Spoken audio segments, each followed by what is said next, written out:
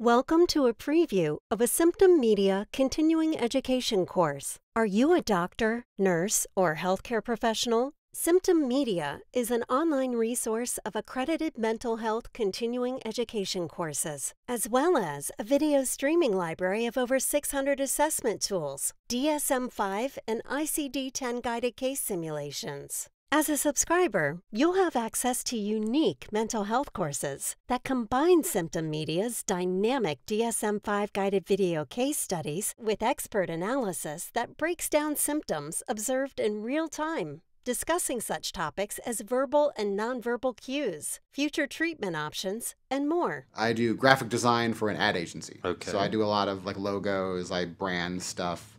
I, I have to wear a lot of hats. Mm-hmm. Uh, it's it's very stressful work though. I'd look 20 years uh, older if I didn't smoke pot. Huh.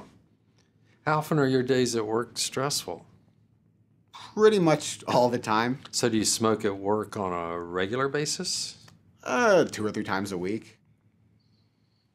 So he's using before and after work. He's also using at work multiple times per week. So this is not just chronic use, this is chronic heavy use.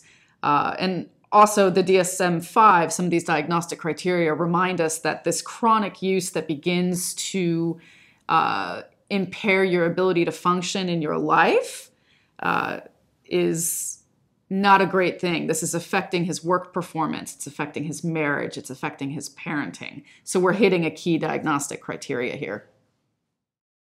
Join healthcare professionals and over 300 hospitals, clinics, medical schools, universities, and colleges subscribing to Symptom Media. To take our continuing education courses, visit symptommedia.com and sign up today.